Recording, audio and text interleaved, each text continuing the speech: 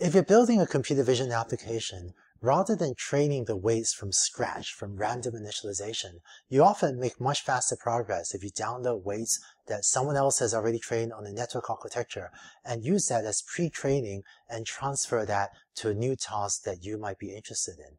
The computer vision research community has been pretty good at posting lots of datasets on the internet. So if you hear of things like ImageNet or MS Coco or Pascal types of data sets.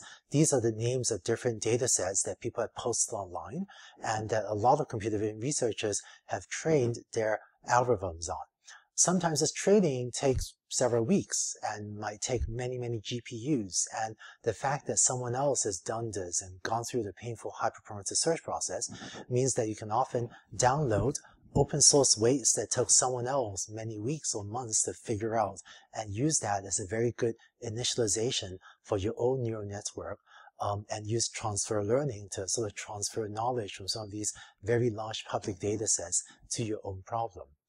Let's take a deeper look at how to do this. Let's start with an example. Let's say you're building a cat detector to recognize your own pet cat. So uh, according to the internet, um, Tigger is a common cat name and uh, Misty is another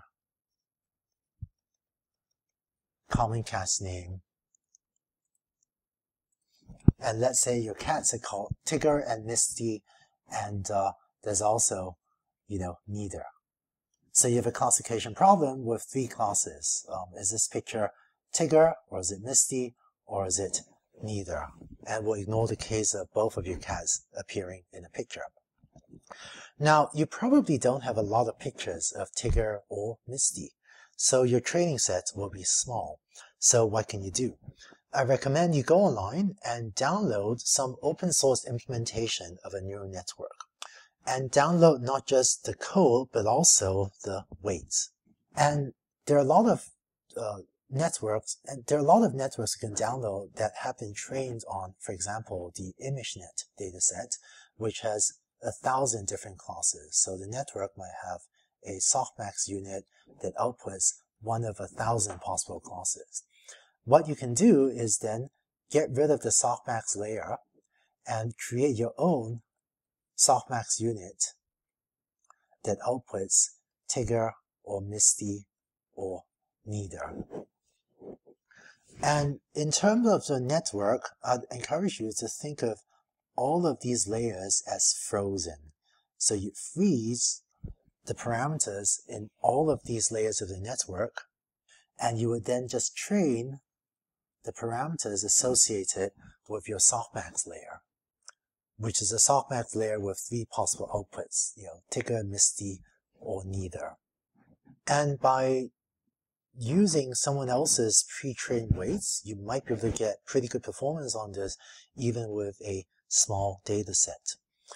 Fortunately, a lot of deep learning frameworks support this mode of operation. And in fact, uh, depending on the framework, it might have things like trainable parameter equals zero, you might set that for some of these earlier layers in order to just say, you know, don't train those weights.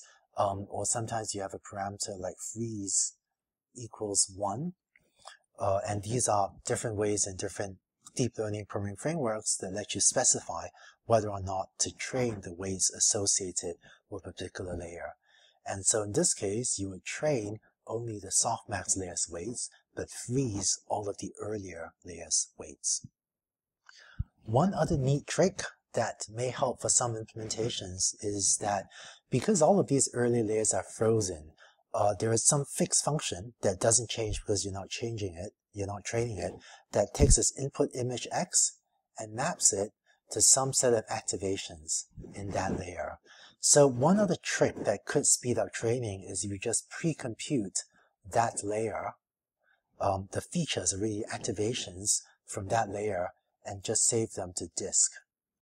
And what you're doing is you're using this fixed function in this first part of the neural network to take as input any input, any image x and compute some feature vector for it. And then you're training a shallow softmax model from this uh, feature vector to make a prediction. And so one step that could help your computation is you just pre-compute that layer's activation for all the examples in your training set and save them to disk, and then just train a softmax classifier on top of that. Right. So the advantage of the save to disk or the pre-compute method, the save to disk method, is that you don't need to recompute those activations uh, every time you take an epoch or take a pass through a training set. So this is what you do if you have a pretty small training set for your task. What if you have a larger training set? So one rule of thumb is if you have a larger label data set, so maybe you just have a ton of pictures of Tigger, Misty, um, as well as, I guess, pictures of neither of them. One thing you could do is then freeze fewer layers. So maybe you freeze just these layers and then train these later layers. Although if the output layer has different classes, then you need to you know, have your own output unit anyway of Tigger, Misty, or neither. And um, there are a couple ways to do this. You could take the last few layers, um, and there are a couple ways to do this. You could take the last few layers weights and just use that as initialization and do gradient descent from there. Or you could also blow away these last few layers and just, you know, use um, your own new hidden units and then your own final softmax output. So um, either of these methods could be worth trying.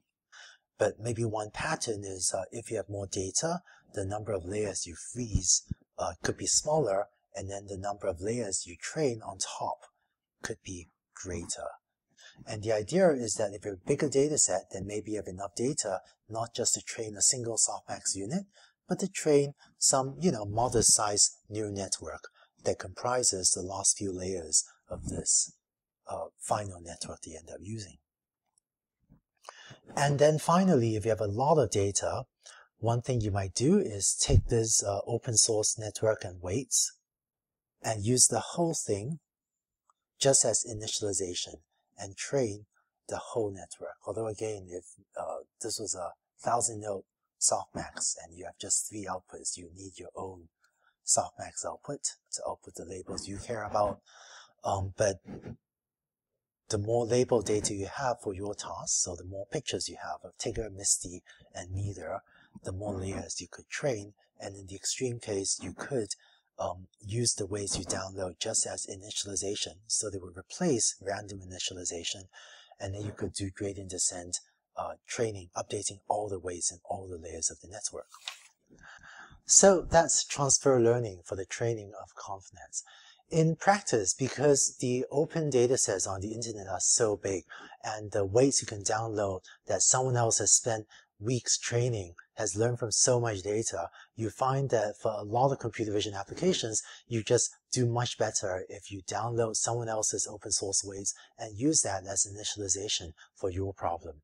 So in all the different disciplines, in all the different applications of uh, deep learning, I think that computer vision is one where transfer learning is something that you should almost always do unless you actually have a very, very large, unless you have an exceptionally large data set to train everything else from scratch yourself. But transfer learning is just very worth seriously considering unless you have an exceptionally large data set and a very large computational budget to train everything from scratch by yourself.